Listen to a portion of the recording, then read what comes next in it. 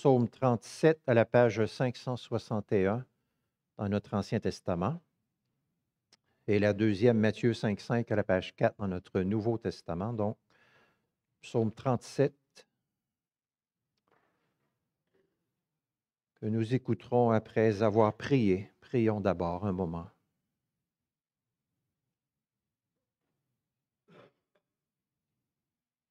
Notre bon Père, avec tout tes rachetés qui sur la terre en ce moment, aujourd'hui, te célèbrent, nous faisons monter vers toi notre reconnaissance que tu aies bien voulu nous accorder ta parole de vie pour nous instruire et nous guider sur la route qui conduit à toi. Merci pour cette parole précieuse. Nous prions ce matin qu'elle nous enveloppe complètement de ton amour. Nous prions qu'elle nous rejoigne, chacun d'entre nous, petits et grands, qu'elle nous rejoigne, qu'elle nous parle puissamment qu'elle nous transforme, comme nous l'avons chanté, que cet instant nous rapproche véritablement de toi. Nous nous mettons à ton écoute. Parle, ô Éternel, car tes serviteurs et tes servantes écoutent par Jésus-Christ. Amen. Écoutons ensemble la lecture du psaume 37 dans un premier temps. de David. Ne t'irrite pas contre ceux qui font le mal, n'envie pas ceux qui commettent l'iniquité, car ils sont fanés aussi vite que l'herbe et ils se flétrissent comme le gazon vert. Confie-toi en l'Éternel et pratique le bien. Demeure dans le pays et prends la fidélité pour pâture. Fais de l'Éternel tes délices et il te donnera ce que ton cœur désire. Remets ton sort à l'Éternel, confie-toi en lui et c'est lui qui agira. Il fera paraître ta justice comme la lumière et ton droit comme le soleil à son midi. Garde le silence devant l'Éternel et attends-toi à lui. Ne t'irrite pas contre celui qui réussit dans ses voies, contre l'homme qui accomplit de mauvais desseins. Laisse la colère, abandonne la fureur. Ne t'irrite pas, ce serait mal faire, car ceux qui font le mal seront retranchés et ceux qui espèrent en l'Éternel posséderont le pays. Encore un peu de temps, plus de méchants. Tu examines le lieu où il était, plus personne. Les humbles posséderont le pays et feront leur délice d'une paix complète. Le méchant forme de mauvais desseins contre le juste et il grince des dents contre lui. Le Seigneur se rit de lui, car il voit que son jour arrive. Les méchants tirent l'épée, ils bandent leur arc pour faire tomber le malheureux et le pauvre, pour égorger ceux dont la voie est droite. Leur épée entrera dans leur propre cœur et leurs arcs se briseront. Mieux vaut le peu du juste que l'abondance de beaucoup de méchants, car les bras des méchants seront brisés, mais l'Éternel soutient les justes. L'Éternel connaît les jours des hommes intègres, et leur héritage dure à jamais ne sont pas dans la honte au temps du malheur et au jour de la famine, ils sont rassasiés. Mais les méchants périront, et les ennemis de l'Éternel, comme les plus beaux pâturages, ils s'évanouissent, ils s'évanouissent en fumée. Le méchant emprunte, et il ne rend pas. Le juste fait grâce, et il donne. Car ceux que bénit l'Éternel posséderont le pays, et ceux qu'il maudit seront retranchés. Par l'Éternel, les pas de l'homme s'affermissent, il prend plaisir à sa voix. S'il tombe, il n'est pas terrassé, car l'Éternel lui soutient la main. J'ai été jeune, j'ai vieilli, et je n'ai pas vu le juste abandonné, ni sa descendance mendiant son pain. Toujours il fait grâce et il prête, et sa descendance est en bénédiction. Écarte-toi du mal, fais le bien et demeure pour toujours. Car l'Éternel aime le droit et il n'abandonne pas ses fidèles. Ils sont toujours sous sa garde mais la descendance des méchants est retranchée. Les justes posséderont le pays et ils y demeureront à jamais. La bouche du juste exprime la sagesse et sa langue proclame le droit. La loi de son Dieu est dans son cœur. Ses pas ne chancellent pas. Le méchant épie le juste et cherche à le faire mourir. L'Éternel ne l'abandonne pas entre ses mains et il ne le laisse pas condamner quand il est en jugement. Espère en l'Éternel, garde sa voix, et il t'élèvera pour que tu possèdes le pays. Tu verras les méchants retranchés. J'ai vu le méchant dans toute sa puissance, il s'étendait comme un arbre verdoyant. Il a passé, et voici qu'il n'est plus. Je l'ai cherché, mais il était introuvable. Observe celui qui est intègre et regarde celui qui est droit.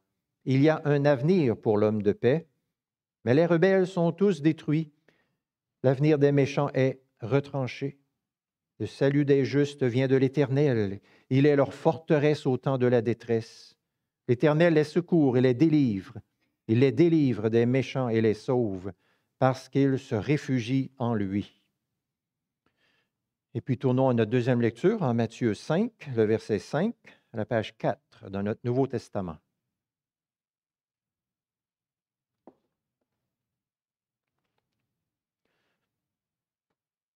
En Matthieu 5, 5, notre Sauveur dit, Heureux ceux qui sont doux, car ils hériteront la terre. Amen. Quel est le discours le plus remarquable, le plus important de toute l'histoire de l'humanité? Eh bien, c'est le sermon sur la montagne de notre Sauveur. Voilà le, grand discours le plus important qui a fait en sorte que, après la fin de ce discours, les foules étaient bouleversées, elles étaient frappées, impressionnées de ce qu'elles avaient entendu. Jamais homme n'avait parlé comme cet homme dans ce grand discours. Le sermon sur la montagne commence par huit béatitudes, huit grandes affirmations qui sont comme le code de la nouvelle alliance entre Dieu et son peuple. Huit grandes affirmations qui décrivent en quelque sorte notre condition d'enfant de Dieu, membre du peuple de Dieu. Des grandes affirmations très précieuses pour nous, très puissantes, qu'il fait bien pour nous de transformer chaque jour en prière. Nous sommes rendus à la troisième béatitude qui dit Heureux ceux qui sont doux, car ils hériteront la terre. Deux questions sont devant nous. De quel genre de douceur sont animés les doux de qui Jésus parle ici? Et que signifie ils hériteront la terre? Premièrement, de quel genre de douceur sont animés les doux de qui Jésus parle ici? C'est une question importante, je dirais même très importante, parce qu'il y a beaucoup de personnes qui ne comprennent pas bien ce que signifie la douceur chrétienne ou qui n'aiment pas cette idée-là. Notre Sauveur dit, heureux ceux qui sont doux, mais il y en a qui comprennent, heureux ceux qui sont mous, heureux ceux qui sont faibles, heureux les paillassons, heureux les guimauves, heureux ceux qui n'ont pas de colonne vertébrale, etc., etc. Et ils disent qu'ils n'aiment pas cette euh, béatitude du Seigneur Jésus. Ils ignorent complètement le sens de la douceur dont il est question ici.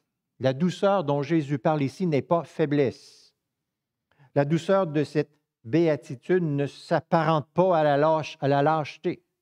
Il ne s'agit pas de quelqu'un qui, qui est apathique, qui est mou, qui est sans ressort, qui ne sait pas trop comment se conduire dans la vie. Au contraire, c'est une douceur qui est une force une puissance. Il s'agit ici de la capacité de se dominer soi-même, de se maîtriser soi-même et de faire en sorte que dans toutes nos relations avec les autres, quand il y a des frictions, des problèmes, nous pouvons répondre en nous dominant nous-mêmes, en refusant de répondre par la rancune, l'amertume, la haine, la colère, la vengeance.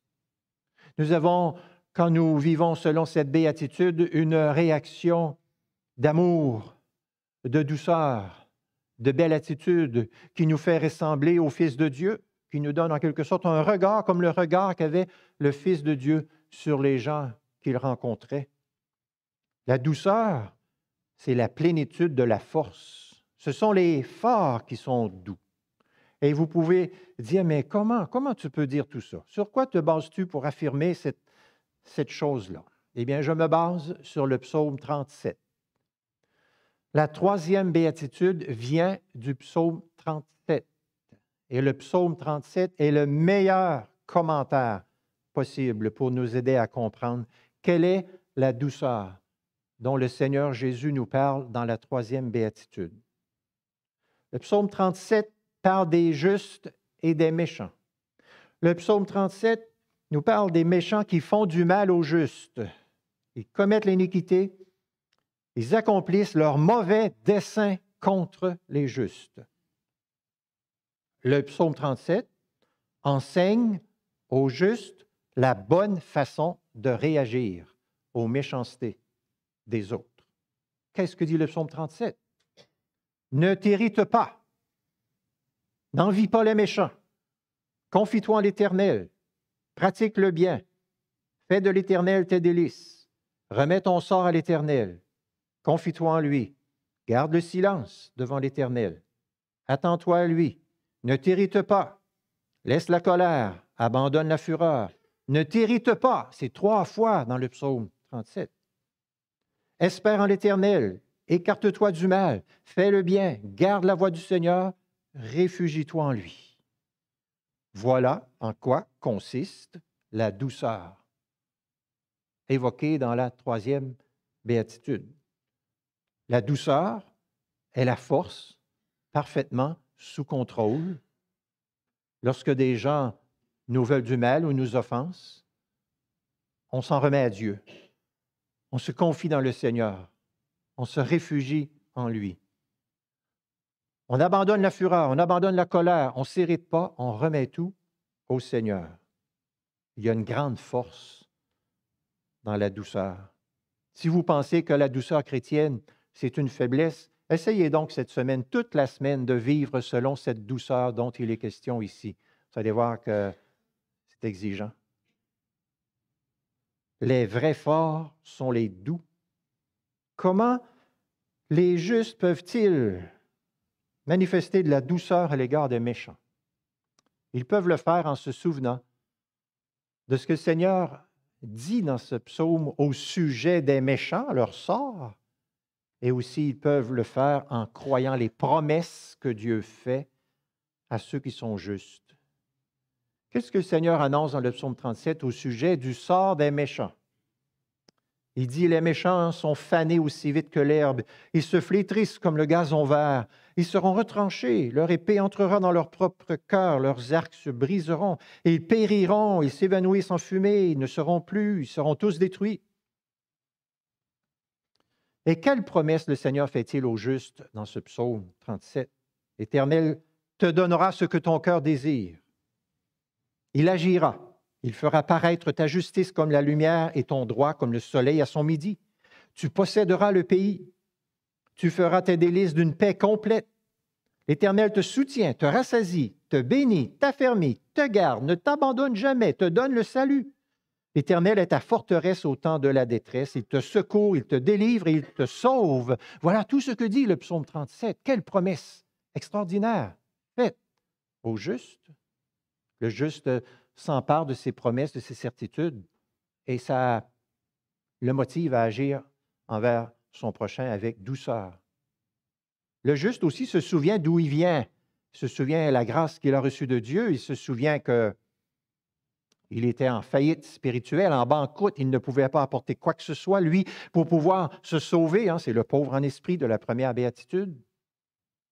Il se souvient qu'il s'est attristé, qu'il a pleuré de sa situation, ce qui l'a conduit à la consolation du pardon. Hein. C'est notre deuxième béatitude. Il se souvient d'où il vient, il se souvient qui il est et ce que le Seigneur a fait pour lui. Et donc, il n'est pas comme autrefois, tout le temps inquiet de quelqu'un qui l'offense, qui l'injurie, qui se comporte pas bien, etc. Il, ne s'inquiète plus de ça, ou en tout cas, il s'en inquiète beaucoup moins. Et il a acquis cette capacité que donne le Saint-Esprit de réagir avec amour, de réagir avec douceur, de réagir en se possédant lui-même, en voulant non pas se venger, puis être rancunier, puis faire gonfler l'amertume toujours dans sa vie. Non, non, mais aimer en retour, bénir en retour, ne plus tout le temps penser à essayer de se justifier, revendiquer ses droits. Non, c'est fini ça. Il veut aimer en retour, exprimer la douceur, parce qu'il a confiance en Dieu, que Dieu fait ce qu'il a promis de faire. Cette douceur, donc, c'est un abandon à la volonté de Dieu en toutes circonstances, même face à la haine, à l'injustice, au mépris des autres. Les doux abandonnent tout au Seigneur, leurs droits, leur vie, leur futur, ils abandonnent tout à Dieu, font confiance à Dieu, que ce qui leur arrive, même les personnes euh, un peu plus tannantes qui sont sur leur route, font aussi partie du grand plan souverain de Dieu pour les transformer à la ressemblance du Seigneur Jésus. Ils s'en remettent à Dieu, exactement comme le Seigneur Jésus a fait lui-même lorsqu'il était sur la terre. Je pense à ce passage bouleversant de l'épître de Pierre. Écoutez bien. Christ a souffert pour vous et vous a laissé un exemple afin que vous suiviez ses traces. Lui qui, insulté, ne rendait pas l'insulte, souffrant, ne faisait pas de menaces, mais s'en remettait à celui qui juge justement. Ainsi que ceux qui souffrent remettent leur âme au fidèle Créateur en faisant le bien. C'est ce que font les doux. À l'exemple du Seigneur Jésus, ils s'en remettent à celui qui juge justement. Ils s'en remettent à Dieu. La douceur de Jésus. Quel beau sujet de méditation. Jésus est la douceur suprême. Jésus est le roi de la douceur. Lors de son entrée à Jérusalem, Matthieu 21, 5 nous dit, Voici ton roi qui vient à toi plein de douceur. Le Fils de Dieu lui-même avait dit plus tôt, Moi je suis doux et humble de cœur, et vous trouverez du repos pour vos âmes si vous venez à moi. Comment les évangiles nous parlent-ils de la douceur de Jésus? Nous avons toute la vie entière de Jésus à considérer dans les évangiles. Nous le voyons doux face à la lenteur des disciples à comprendre et à croire et à obéir. Quelle lenteur! Ils étaient toujours empétraillés dans leur guéguerre personnelle, dans leur guéguerre d'ego. Et le Seigneur est très patient et très doux avec eux. Lorsqu'à Gethsemane, Jésus a comme un, garrot d'étranglement, d'émotion face à ce qu'il s'en vient. Eux autres, ils dorment. Face à tous les ennemis que Jésus rencontre euh, jour après jour, Jésus reste doux et serein en toutes circonstances, malgré toutes les turpitudes qu'on fait tomber sur lui. Il reste doux. On arrive au procès, au simulacre de procès, à la caricature du procès où il est là devant euh, les soldats romains, devant tout un paquet de monde. Il aurait pu pulvériser d'un seul mot tous ses ennemis, mais il ne fait pas ça. Il leur dit, vous n'auriez aucun pouvoir sur moi s'il ne vous avait été donné d'en haut. Jésus rencontre dans sa passion beaucoup de personnes et on regarde, on regarde comment il est, mais on dit, mais c'est lui qui est serein et doux, alors que tout le monde autour court, panique, s'énerve, s'impatiente, se chicane. C'est lui qui est empreint de cette douceur sereine tout au long de sa vie. L'apôtre Paul s'appuie sur cette douceur de Jésus à plusieurs reprises dans ses épîtres. Il dit par exemple en 2 Corinthiens 10, 1, Je vous exhorte par la douceur de Christ. Autrement dit, toutes les exhortations que je vous donne, chers chrétiens corinthiens, je le fais au nom de la douceur de Christ. Il écrit en Éphésiens 4, Je vous exhorte, moi le prisonnier dans le Seigneur, à marcher d'une manière digne de la vocation qui vous a été adressée en toute douceur. Aux Galates, il dit, frère, si un homme vient à être surpris en quelque faute, vous qui êtes spirituels, redressez-le avec un esprit de douceur. Il dit aux Colossiens, comme des élus de Dieu, revêtez-vous d'une ardente douceur. Tite 3, 2. Soyez pleins de douceur envers tous les hommes. Il écrit à Timothée, toi, homme de Dieu, recherche la douceur. Et dans ce passage bien connu, Philippiens 4, 5, que votre douceur soit connue de tous. C'est notre vocation, à l'exemple de notre Sauveur, de marcher dans la douceur. Heureux ceux qui sont doux, car ils hériteront la terre. J'avance maintenant à notre deuxième question. Que signifie ils hériteront la terre? D'abord, à première vue, cette promesse est extraordinaire. Les doux hériteront la terre. On pense toujours que c'est les, les forts, les violents, les brutaux qui vont posséder la terre qui vont s'en emparer par la force violente. C'est le genre d'image qu'on a. Et on se dit, mais n'est-il pas vraisemblable que les doux vont se faire écraser? On, va les mépriser encore plus. On ne va pas tenir compte d'eux. On va les malmener. Mais le grand roi du royaume des cieux affirme que ce n'est pas par la force que nous pouvons prendre possession de notre héritage en Jésus-Christ, mais c'est par la douceur cette bénédiction, ils hériteront la terre. Concerne-t-elle le futur lointain ou le présent? Comme chacune des béatitudes, elle concerne à la fois un futur lointain et aussi elle concerne le temps présent pendant que nous sommes ici sur la terre. Nous avons vu jusqu'à maintenant que le grand roi du royaume des cieux, le Seigneur Jésus, a dit que le royaume était arrivé et qu'il y a une façon de, de recevoir comme ici maintenant plusieurs facettes ou aspects des promesses qu'il fait à chaque béatitude pour son peuple. Bien sûr, nous attendons le grand jour où nous allons recevoir une terre nouvelle, des nouveaux cieux où la justice va habiter, où tout sera parfait. Nous pourrons recevoir et prendre possession, disons, dans toute la plénitude de la promesse de Dieu, mais quand même, ici-bas maintenant, nous goûtons à ce que ça signifie de toutes sortes de manières ici-bas, maintenant, déjà, toute chose concourt au bien de ceux qui aiment Dieu. Ici-bas, déjà, quand nous cherchons le royaume de Dieu et sa justice, toutes choses nous sont données par-dessus. L'apôtre Paul écrit, Tout est à vous, soit le monde, soit la vie, soit la mort, soit les choses présentes, soit les choses à venir, tout est à vous.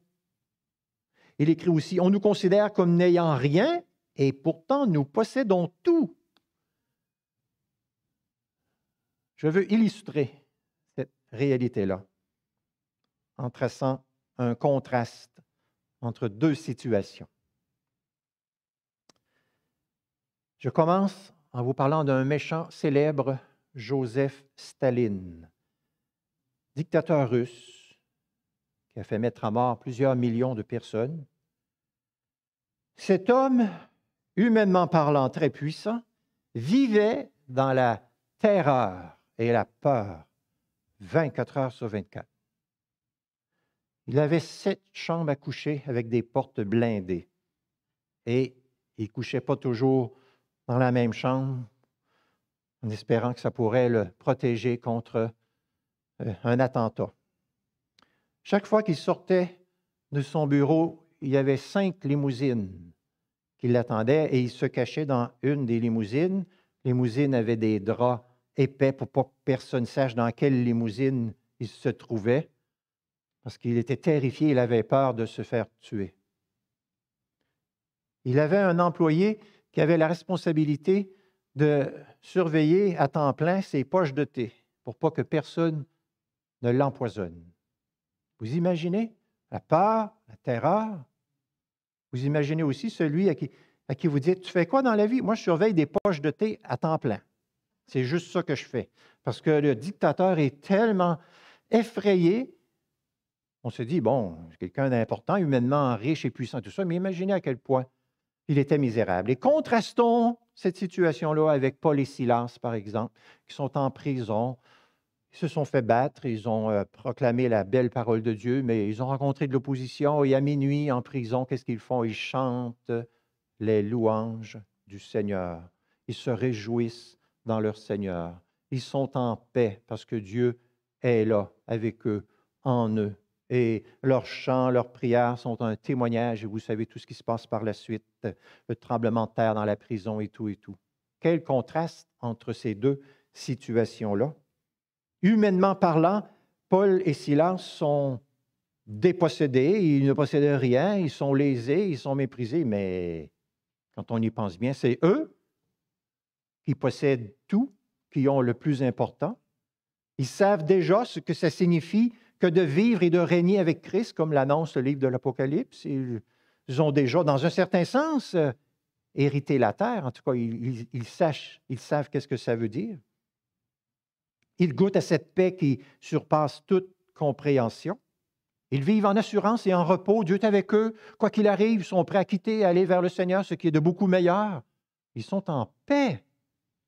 En paix. Et ici, bas maintenant, ça leur suffit pleinement. Ils continuent leur vocation en attendant bien sûr la pleine réalisation de cette promesse ici. Ayant cette perspective des choses, ils peuvent être doux, ils peuvent se dominer, ils peuvent se maîtriser, ils peuvent aimer leurs ennemis, ils peuvent évangéliser ceux qui leur font du mal. Ça nous fait penser à un texte remarquable de l'Épître aux Hébreux, chapitre 10.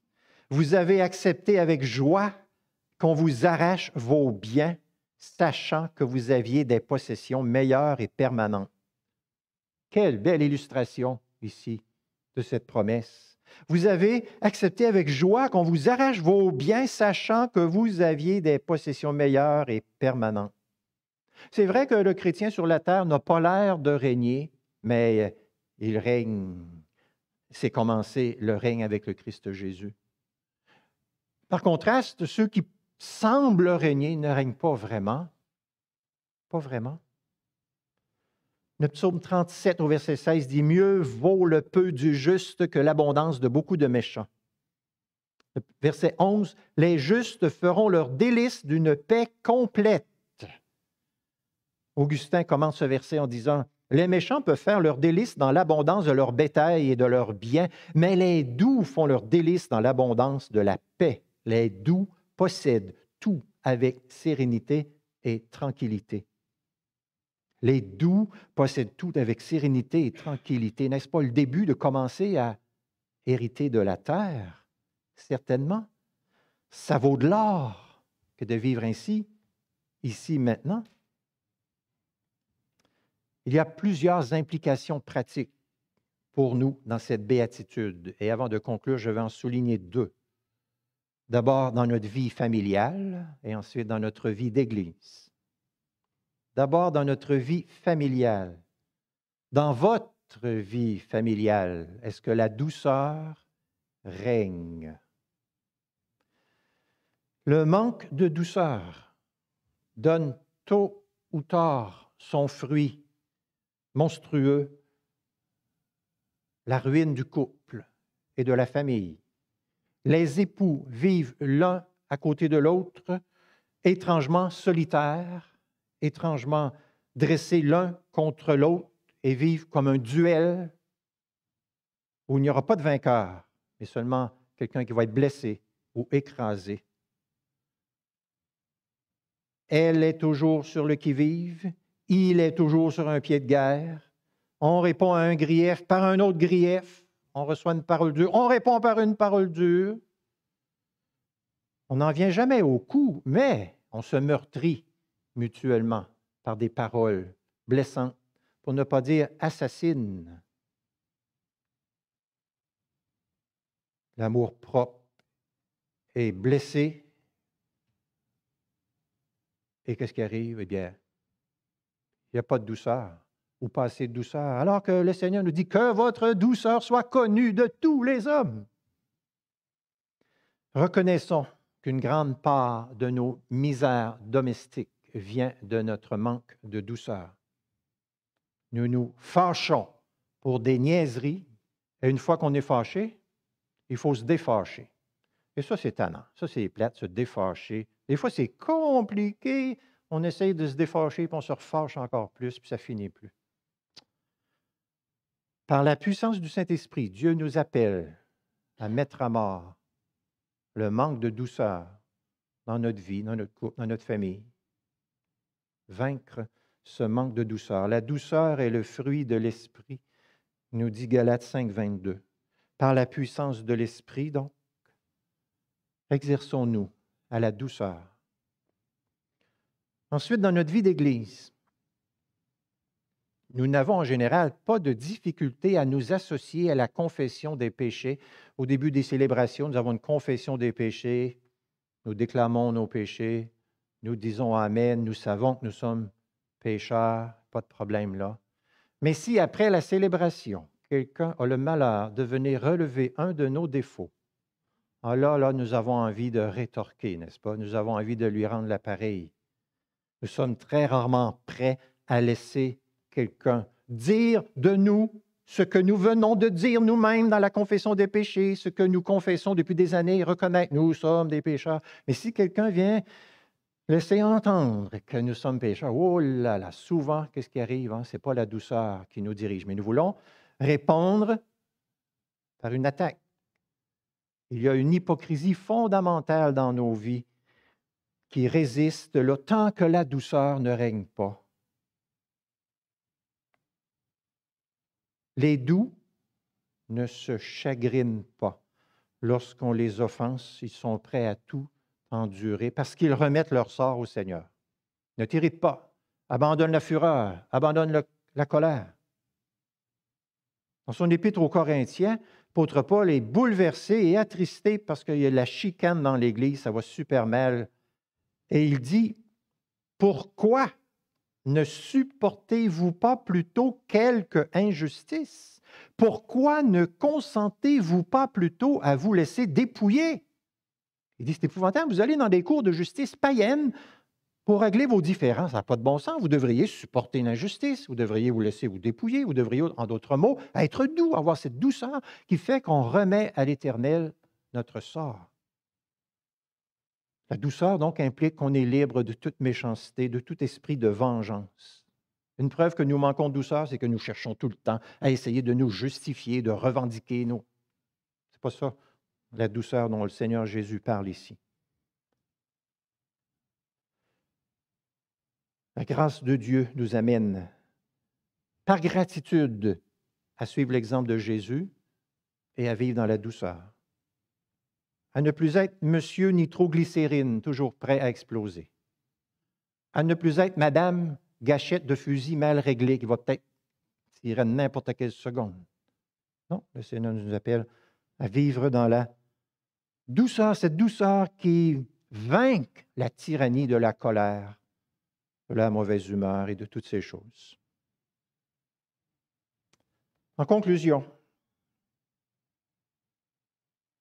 Ne t'irrite pas. Confie-toi en l'Éternel. Fais de lui tes délices. Remets ton sort au Seigneur. Attends-toi à lui. Laisse la colère. Abandonne la fureur. Espère en l'Éternel. Écarte-toi du mal. Fais le bien. Garde la voie du Seigneur et réfugie-toi en lui. Voilà en quoi consiste la douceur de la troisième béatitude. Dans notre justification, la douceur du Christ est mise à notre compte. Dans notre sanctification, l'Esprit de Dieu œuvre en nous pour nous transformer à la ressemblance de Jésus-Christ, qui inclut sa douceur. Amen.